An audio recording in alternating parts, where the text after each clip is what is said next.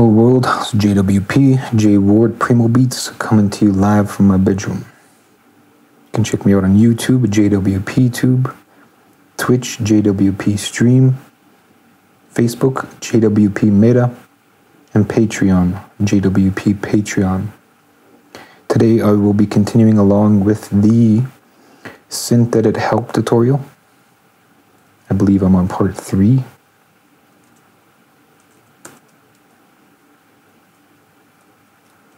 So I'm just finding my screen. There it is. So here I am in SynthEdit. I am going to bring up SynthEdit help. tutorials and reference, SynthEdit tutorials. I'm gonna get this little pop-out box. I'm just gonna double click the banner and make it full screen. So tutorial three, adding a control panel. So introduction, I'm gonna increase the screen size here. Should be good. In this tutorial, we will show you how to create a control panel for your synthesizer. This tutorial will teach you how to create a control panel, arrange the controls to, into functional groups, change the visual appearance of controls on a panel, change the look of the panel using skins, move through this tutorial by clicking the next and back buttons at the top of this window or by using the table of contents on the left to go to a specific topic or tutorial. So I don't think I was using the next buttons and stuff last time, so we're going to do that this time. Starting out, we have already created a project as a starting point for this tutorial for you. Simply click on the icon to save the project file to your hard disk, then open it in SynthEdit. This project contains a simple synthesizer. Looking at its structure, we can see that it is made up of four main functional sections that really need to have controls on a control panel. I swear the wording in this sometimes. The oscillator section consisting of an oscillator module with a slider and a list entry module green. The filter section comprised of a filter module and two sliders of blue. The envelope generator with a, its four sliders, pink. The keyboard module makes up the input section, yellow. This project also has a VCA and sound out modules, but these do not have any controls directly associated with them. So as we can see, this small picture here, we have the oscillator, um, the filter looks like it's here. Envelope there. And keyboard, of course, over there. And that's the uh, VC keyboard. So I'm to pop this open. I'm not sure where this is to open. It might open in SynthEdit 1.1. Okay. So we got to do a little bit of patching here. Mm, that looks fine. This is probably wrong which is fine. Uh, at least it's ADSR2, keyboard 2, and patch, patch automator can go. Oh, this is all top level. This should be containerized. However, as this is just a tutorial, we'll just leave it as is. Um, let's get this out of here first, I believe. Do we have... No, it doesn't look like we have any patches. Let's... I don't think it's going to show us anyway. It's all just a scramble. So I'm going to go into the old version and it still doesn't show us the top level. I'm going to actually take this right out then. So I'm going to drop that and we're to go MIDI and preset browser. I think I do believe we do need the patch automator. However, it's not sure if it's an older or newer one. I don't think there is an old patch automator. This is needed, however, to um, do the MIDI linking, sort of uh, MIDI controllers and stuff linking. And we need the preset browser because that now is where everything like this happens. And I'm just going to quickly throw in a list entry here. So we can, oh, not that kind of. That's a controls version. That's just like a sort of for prototyping. I mean, you can use it in a final synth, but it's better to use the subcontrols. And I'll grab this list entry here. Let's go preset and item list. And we'll have, of course, all the patches. There's different ways of doing this. But just right quick for now, we're gonna throw that in there. And that should pop up in the scramble here. I imagine it'll tell us in the tutorial how we're supposed to be arranging that. So we got our starting point, and that was just a quick replacement of the patch automator into the next um, section. Opening the panel view, SynthEdit has three main views, so far we have used the structure and properties views when building our synthesizers. The final type of view is panel view. The panel view shows only the controls in the structure view that are adjustable, such as sliders without the patch cords or other modules that have no adjustable controls. The panel view lets you lay out the controls of your synth. It's just really big. The panel view lets you lay out your controls of your synth just like a real synthesizer control panel. To open the panel view, right click in an empty area of the structure window, select panel edit. Synth edit opens a new window. This is the panel view for your project. At this time, all the controls are probably just in an untidy heap on the panel. What we need to do is arrange them on the panel so they make sense. So if we come to our SynthEdit window here and we right click and we just go panel edit, as I said before, it's just everything's kind of piled on top of each other. Let's go into next, arranging the controls on the panel. To arrange the controls on a panel, simply select and drag the controls using the mouse, the same way you do in the structure view. Arrange the controls as shown in the image on the left. You may want to turn on Snap to Grid, Control G, to make lining up the controls easier, you can resize the keyboard on the panel by selecting it and dragging the sizing handle at the lower right.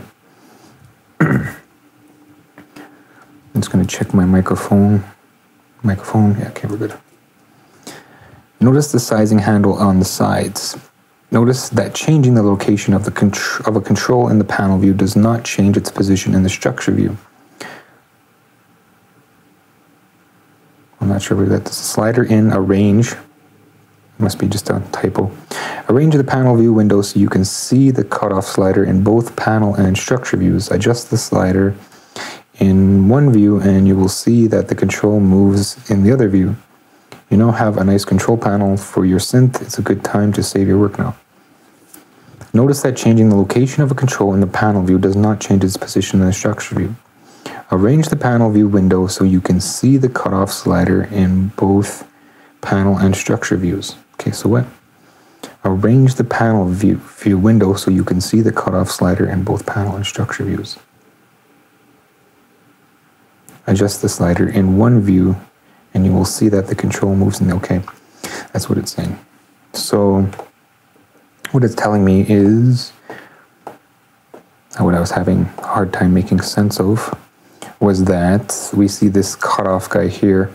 When we go into panel edit and we have the cutoff here, if we change it here, it changes there. That's what it's saying.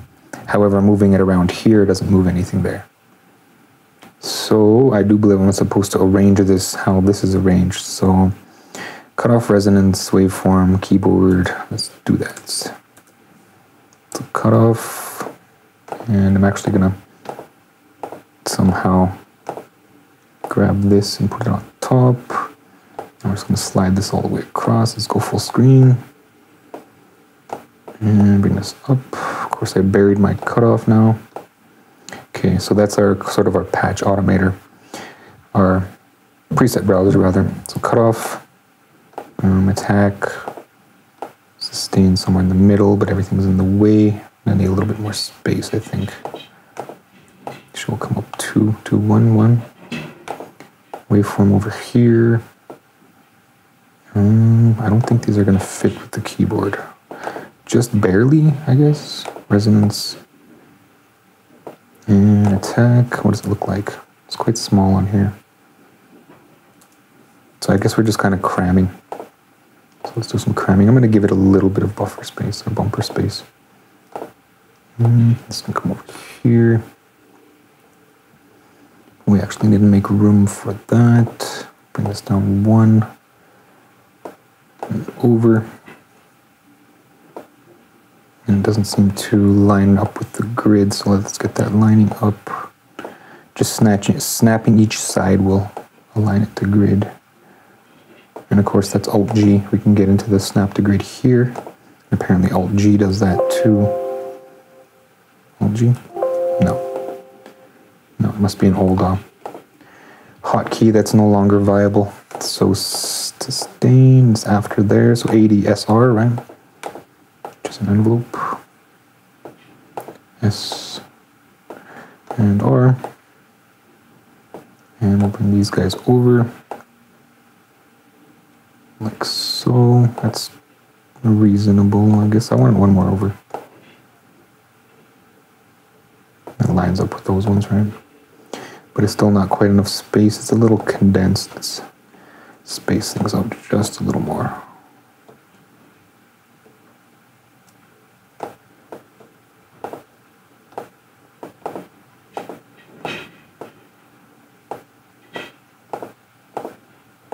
Give our eyes room to breathe here.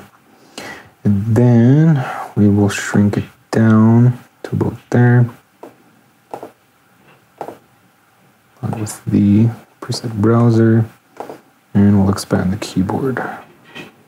We can expand past just so it looks right, however, it's fine where it is. Kind of looks like it's not sitting on top. There we go. Okay, so that's a super small synth, one oscillator, cut off resonance for a filter. Doesn't look like the ADSR is attached to the filter. Um, no. However, it does look like our pitch from the keyboard is attached to the filter. So as the, it's on low pass. So then the cutoff adds to it. So as you, you play up or down the filter will it's key following.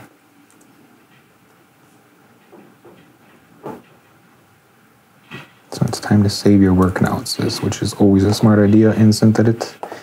Save, save all the time. I'm going to throw this right on my desktop. And continuing along with the reading. Too much information, hiding the readouts. The control panel for our synth looks a lot nicer than the structure view, but it could look better. Time for a bit of a makeover. Notice how all the sliders have a readout displaying the exact voltage as that they are set to. This is useful to know when we are building a synth in the structure view, but on the panel it's just giving us a bit too much information. And besides, it looks messy. We can turn off the readouts quite simply by using one of the sliders properties. Select a slider, open its properties view, turn off the show readout property, close the property view. The readout is now hidden on the panel and in the structure view. Let's turn off the readouts for all the sliders on the panel. Okay, so it's not as if it used to be. We can access the, um, this is kind of in my way here. We can access the properties from here. So this is where properties went in modern SynthEdit and we can access them from both the panel view and from the structure view. But I'm gonna go for the panel view. So they want us to turn off readouts. And those will hide our voltage amounts, which I'm not too partial to. I prefer to see where my controls are sitting um, numerically opposed to these sliders.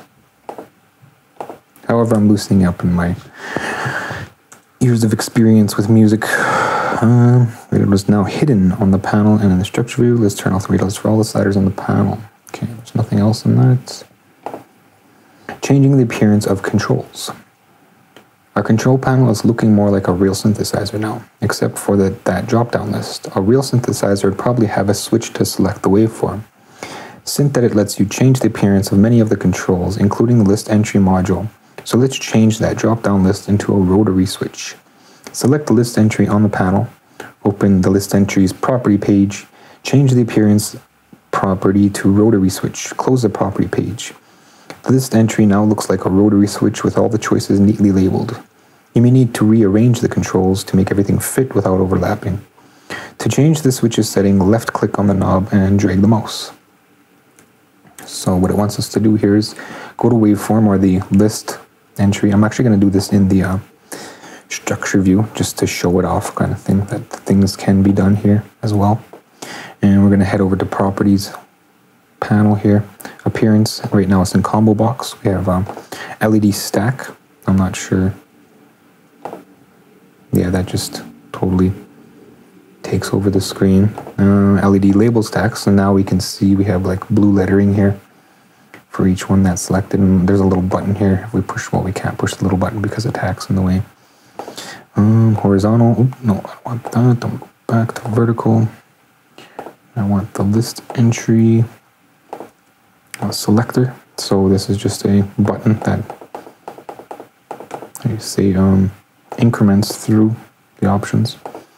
Button stack, and now we have a layout of buttons. You can push to select. Rotary switch, this is the one it wants us to use. Uh, rotary, no text, so that's the same thing, however, there's no text. And up-down selector, so now we have a left-right. I don't know why it says up-down, but we do have left-right that'll, again,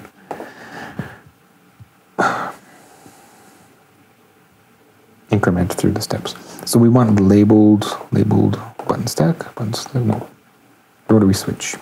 And it doesn't look like it does on here. It's a lot cleaner on here.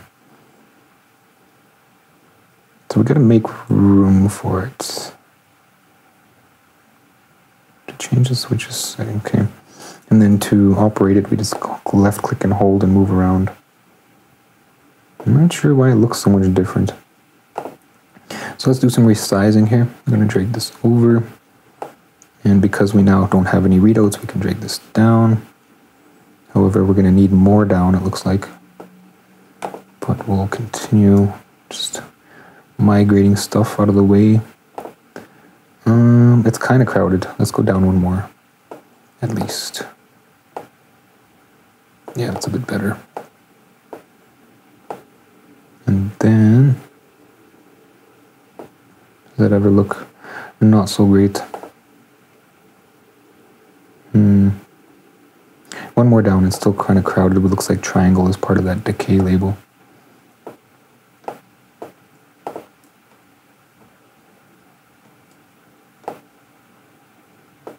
Okay, now we have a little bit more room for our eyes to breathe. And I want to pull this down to line up with the rotary here.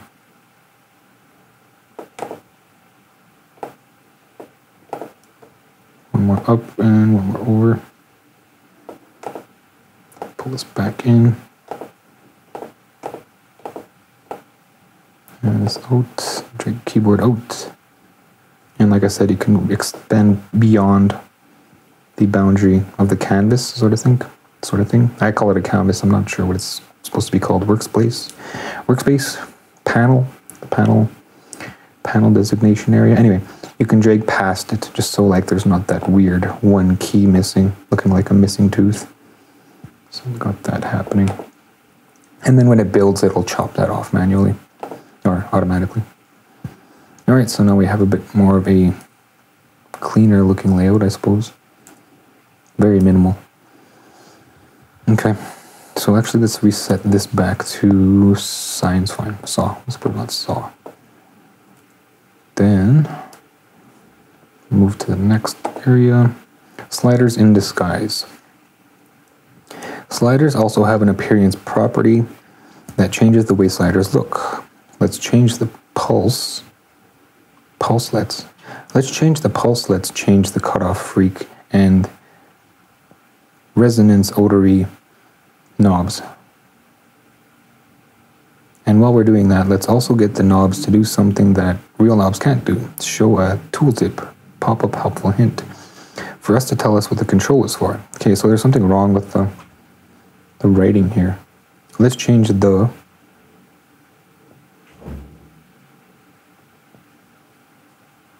I'm not sure what it's telling me.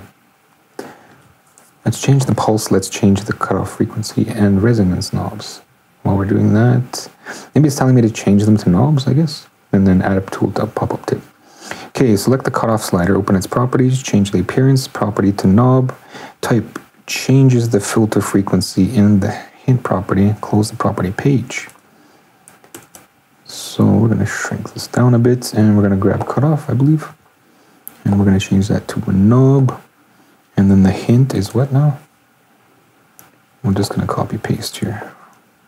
Oh no, we just want changes to filter frequency and go here. Oops, I think I have to hit enter so that registers properly. If we um, edit something and go back, I'm not sure that it'll stick. So I'm going to drop that in here and then I'm not even going to hit enter. I'll just click away, click something else, jump back in. Yeah, see, it's gone. So when you're dropping things in like any sort of values, make sure that you hit enter. Otherwise, they won't um, register. They won't save into the thingy. Anyway, continuing on, close the property page. Our slider now looks like a rotary knob. And if we hover the mouse over the knob, it displays a tooltip telling us what the control does. Change the cutoff frequency and resonance slide change the resonance slider to a knob as well. And feel free to give other controls tooltips if you want to. Additionally, as well, one thing to really point out here is when you change to a knob and you're using the control, the controls slider. So if we bring in control slider and then we change that to a knob, the response, the default response for these is that classic um, rotary. So it's not left or right or up or down. It kind of goes round and round. So you kind of spin your mouse around the slider, which irritates people who are used to just left and right or up and down. But yeah, that's the rotary response. For the regular controls, like from here, that can be changed in the global text. However, if we bring in a image, image and we have our knob here, right? It's a really small, of course. Um, we do have mouse response here. Auto, I'm not sure what response that is. Okay, that's rotary as well. So when we have um, you know images of knobs and stuff, our custom GUI mouse response. Usually, I believe it's horizontal, no vertical. So hor horizontals left and right. We can see this tiny little knob. Um, I can't zoom in either. Of course, it has to be the smallest knob. I'm going to change that. Just right quick. Of course, I have to dig to this to journey to the center of my computer. I'm not even gonna. Yeah, no, I'm not even documents. Okay, so this is where the computer dumps everything. That's why I don't use this folder because um, Windows just dumps everything in here. I imagine at one time this used to be a helpful location, but ever since vendors started just dumping everything in here, I've just I have a different location for my Where's the? I have a different location for my documents. Where is the? Oh, because this isn't public. Okay, so gotta go see users uh, default. Oh no, public. Public, public documents, SynthEdit projects, uh, skins, and here we go. So here's default, and we want knob, knob medium. Now we have this knob here, and as I said, it's set to horizontal, so we can go left or right. And if we look at something like SynthEdit, I just want to see. The default response is up and down.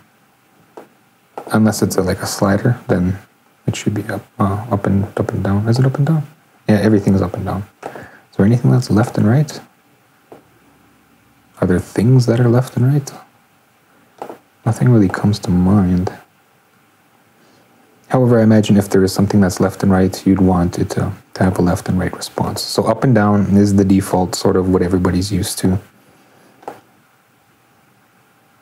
So yeah, vertical response.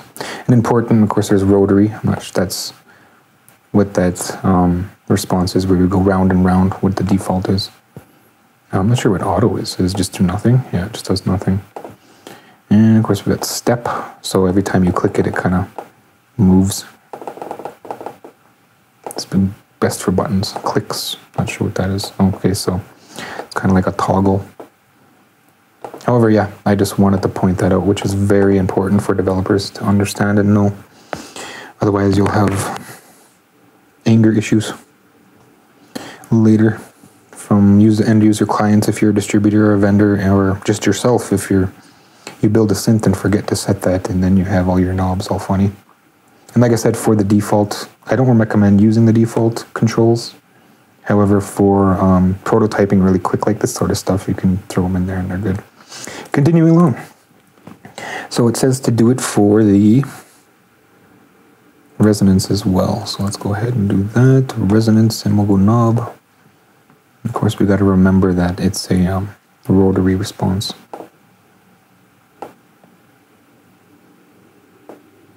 Okay. I believe we're on to the next one. Okay, so now we have adding panel groups. So before we get into this, I'd like to stress that panel groups is a bit older, quite a bit older of a layout type. However, I do believe it still works. Um, we'll just follow through the tutorial and we'll find out if it works or not. The control panel is looking pretty good now. Let's add the finishing touches by adding some panel groups. Panel groups are a special type of module that is only able to be inserted on a panel. It provides a graphic border that you use to visually group controls into functional blocks. Right-click in an empty part of the panel and select Insert Controls Panel Group 2 from the menu. Drag and size the panel group until it surrounds the envelope generator selects. Envelope generator sliders as shown. Right-click on its group title and select properties and open its property view. Rename the panel group to VCA-EN on the panel group to VCA envelope by changing the text property.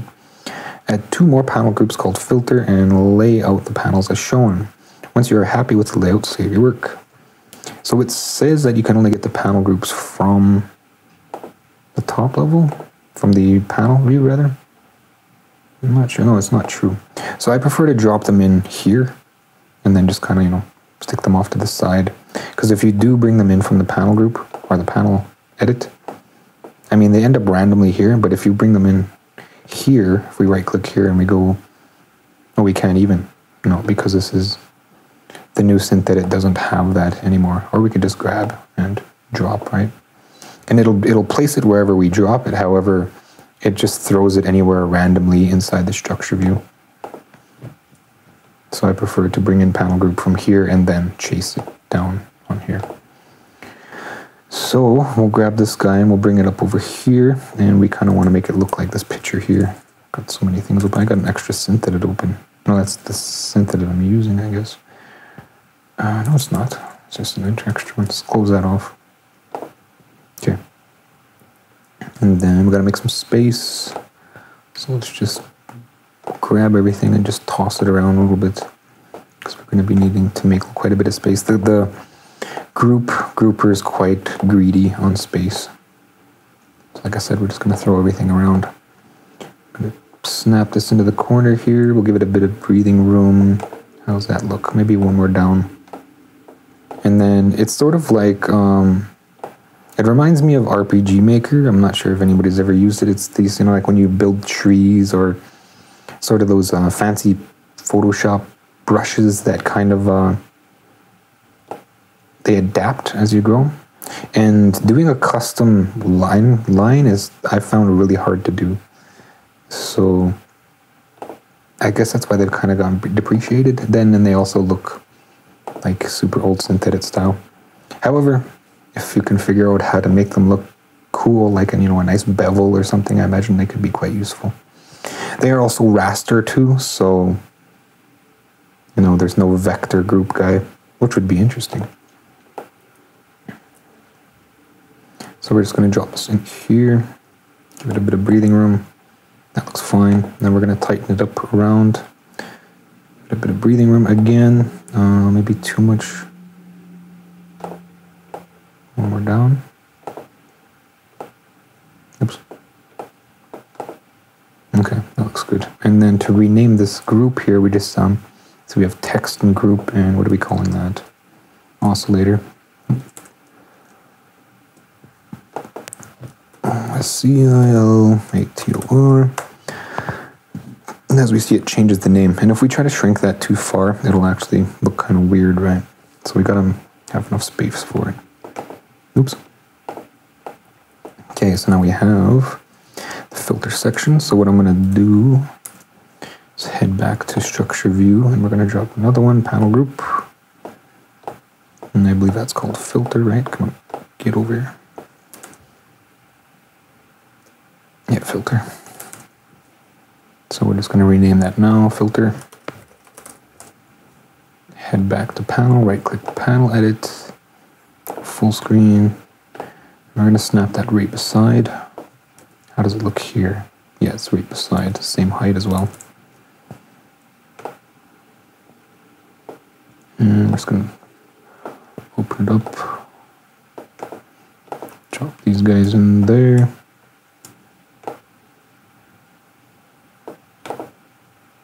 Looks good. Drag this over. And I guess we're just to leave them like that. Yeah, because this is different, right? Everything's looking a bit different. There's quite a bit of margin or gutter. So we'll just center these out.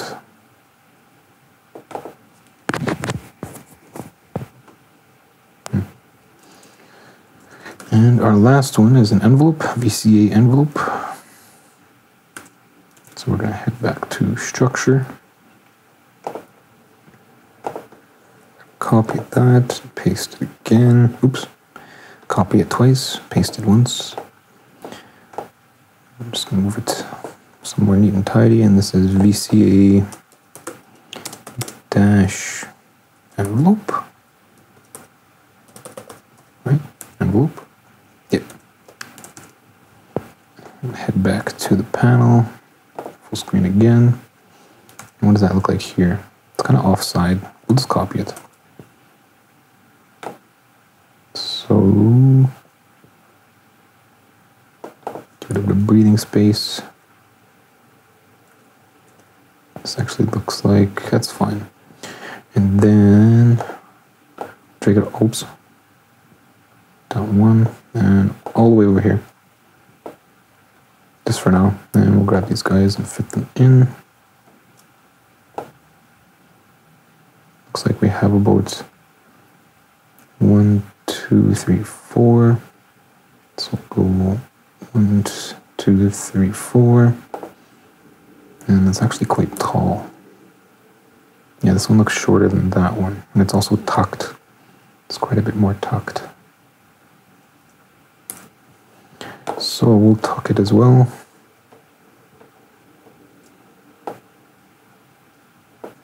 Are they also really tight together? They are. And look, their readouts are back. even after it told me to turn them off. So I'm turning them all back on, just because I like reloads.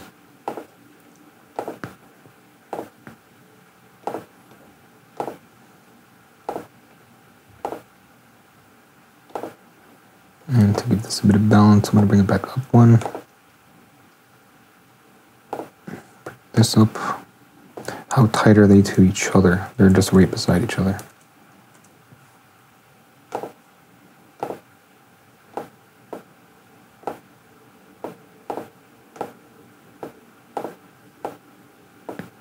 Okay, and then we'll reel this in. Tight as it looks. That should be fine. Yeah, that looks right. And we'll pull this over. Line up the keyboard. Hmm. Oops.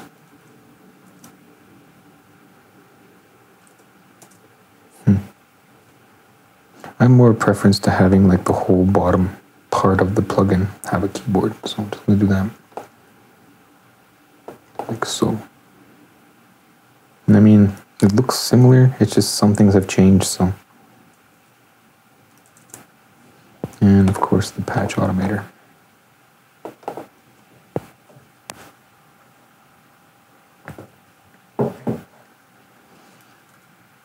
All right. Two more panels. Once you're happy with the layout, save your work. Of course, save, right? Definitely. We'll file save. Yeah. What's next? Change the look with a skin. Congratulations, your control panel is finished, but what happens if you don't like the blue? Simply give it a new skin. A skin is a set of graphics that determine how SynthEdit draws, controls, and panels in panel view. SynthEdit ships with only one main skin, but you can download new skins off the internet. Check out the file section for new skins. Put your new skin in, for example, C program file SynthEdit skins my skin folder, which is wrong. The location in modern synthedit is, as I've said before, C, users, public, public documents, synthedit projects, skins. And of course I have a bunch of development stuff in there. To change the panel skin, open its panel view. If it's not already, then right click an empty space of the panel, select the new skin from the skin menu. In our case, we use the skin called Prophet Black. The panel switches to the new skin. Notice that the structure view hasn't changed. This is because Synthedit always uses the default skin to draw structure views. If you haven't already, go ahead and try out some of the other skins. You can even make your own skins for Synthedit, but we'll get to that in a later tutorial.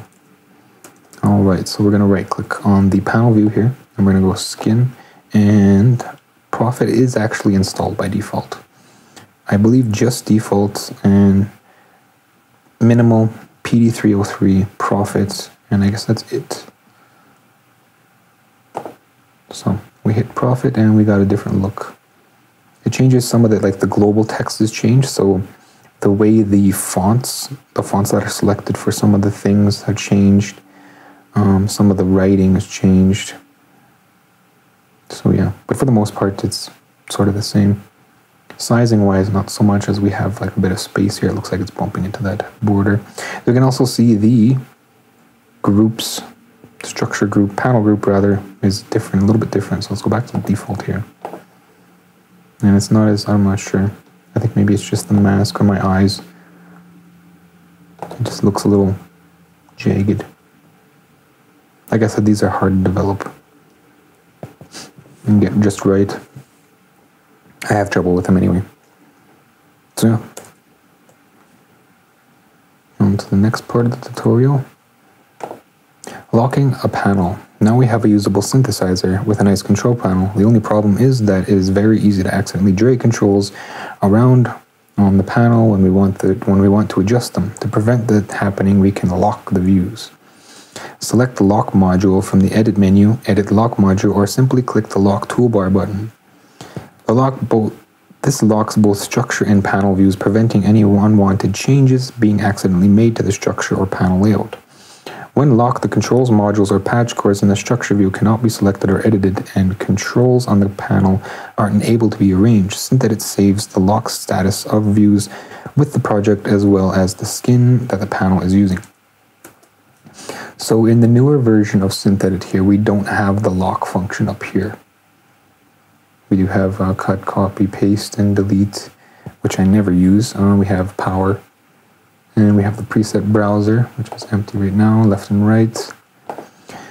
So there is actually a way to lock things. Um, right click, it's somewhere here. I do believe it has to be containerized first. So I'm going to push Control A and I'm going to right click anywhere or specifically on a module and we'll go more and we'll go containerize selection. Now we have a synth that is the ability to, um, that has no ability actually, it has no in or out. So, but if we right click a container, we can now go locked and it's locked. Now we lose our ability to um, change anything. If we right click and we go structure, we can go inside and now we can't move anything. It's strange that we can move things. Um, no, we can't. Can we? What if I click and then delete? No, it doesn't let me. Let's check out the new view though. So if we right click and we hold shift and push structure and we are now in the new view. And yeah, locks totally got everything totally locked in place here. And if we go right click panel edit, again, we can't move any of the controls or anything. It's funny that it lost its background. Not sure what's going on there. I think it was just because I containerized it. So what I'm going to do is I'm going to right click. We also have this little lock here, but that's from the old structure view, so that's not going to continue into the new one. I'm actually going to containerize this again. Some more containerized selection, and now we have, you know, we'll call this Tut Synth, Tut 3 Synth, I guess. And we'll go in here and okay so this is the in and the out so this is the synth here sort of thing this is the new view as well so if I hold shift and double click coming into the new view and if we click the container we can we see we don't have that little lock button because this is the new view right So if we right click, we can go more and we have locked menu right here. So locked and it doesn't really change the appearance. We'll go in and it should be unlocked. No, no, it's locked. I just locked it. So right click more and unlock. Okay, so it shows a check mark in the, in the sub menu. And we go in and now we can move things. Or not, I don't know. There we go. it was just being unresponsive. Okay, so what I wanted to do here is right click and go panel. And I want to grab this background here and stretch it. No, it's not going to work. I'm going to have to drag it down from here and over to there. I'm not sure why everything's all funny now. Just realign things. Looks like everything kind of shifted. So let's bring it down. Actually, let's go Control E. Bring it down a bit. Line it up with the canvas. And we'll grab it by this corner here. Get that lined up over there. We're going to poke it out a bit so I can grab it on that port. And there. Pull this back up. And that's back to the way it was. So the canvas must, is kind of liquid, where it can be anywhere on the workspace, I suppose. Um, yeah, that's fine. Actually, we'll pull it down one. Yeah, yeah. Okay. And then if we lock it, we head back out to the top layer and we right click more locked.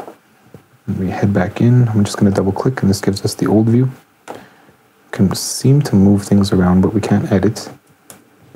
Delete, tried to delete, nothing happened. In the new view, we can't even move things around. Like everything is set in stone. Same with the panel. The only thing we can change on the panel is the uh, controls themselves. So let's head back to the writing here. As well as saying that when you save the project, so if I save with it's locked, it's going to always be locked when I reopen it. It also remembers the skin per panel. So it'll remember that this skin is for that panel. Summary, well done. You know how you now know how to create control panels for your creations.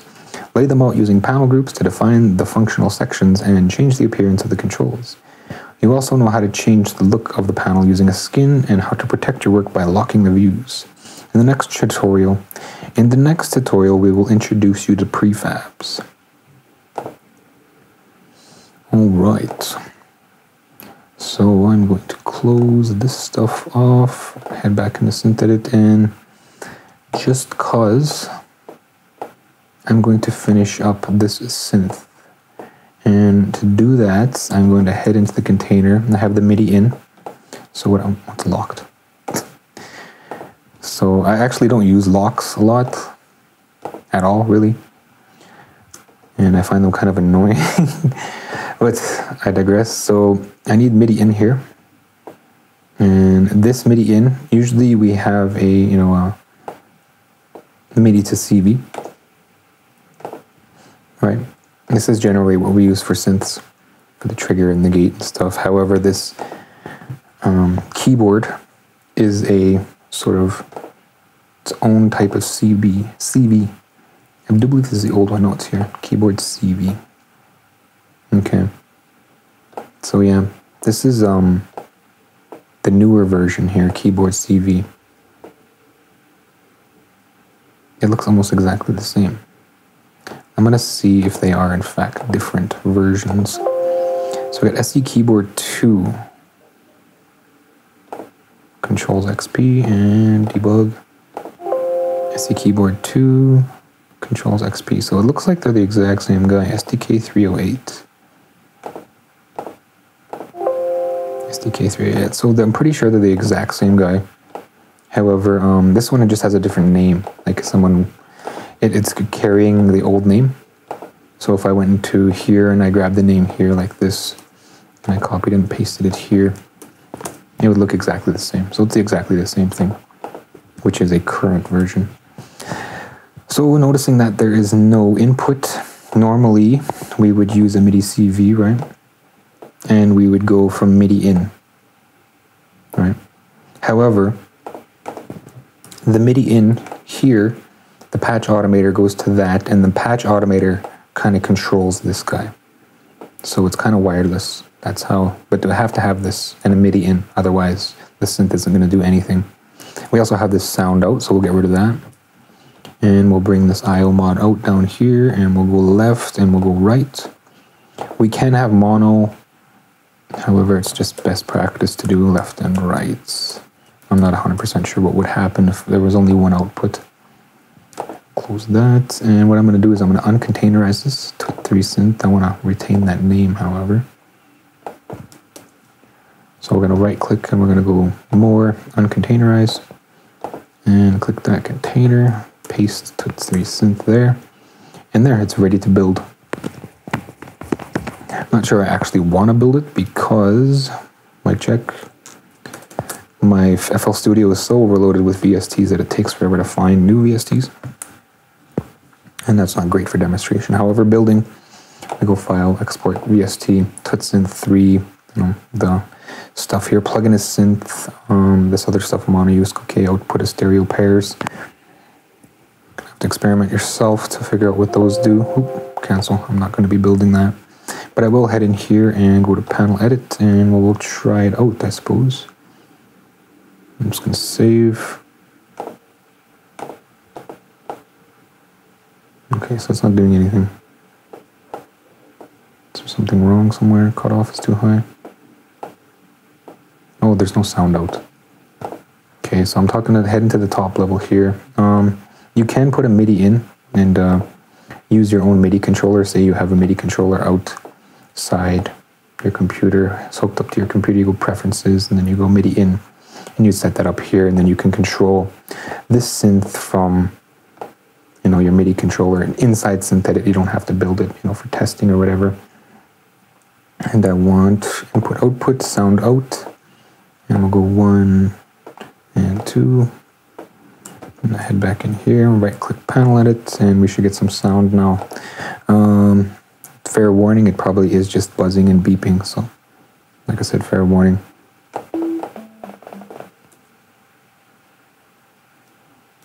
can't tell if it doesn't look like it's outputting. Um, probably because I need to do this so I can't hear that, but it's probably, yeah, it's on the stream. So I'll throw up a saw. Well, then again, you can hear it through my microphone, right? And it's not so brutal.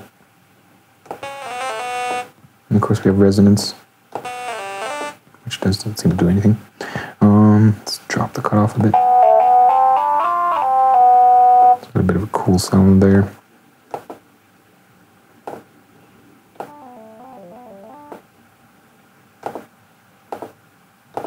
And yeah, so that's a standard one oscillator synth with a filter. The filter is key following, so depending on where you hit um, your notes, the cutoff will increase and decrease. However, there's no envelope to the filter. Um, yeah. So it's just a really, really plain synth. And that's it for this tutorial. It looks like Zane has joined us in chat. It's alive. What's up, JWP? Just finishing up the part three of the tutorial. So I'm actually going to take a quick break and then I'm going to hop back in. Um, so that's part three of the tutorial done. I'm not sure if you want to come back for the second part. Zane, I'm going to, I guess I'm going to look at um, pylons and anchors.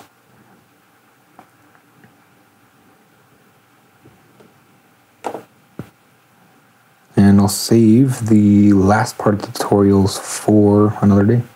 I'm gonna save this. I will throw that in Patreon. I guess this will be part of like the free stuff because it's uh, into novice. I'm not sure if it lets me do that. I'll have to find out. Anyways, Zane, thanks for dropping by. I apologize for um, heading out right when you show up but I will be back in like five minutes. Um, I'm gonna take a short break. So yeah, Thanks for watching and until next time.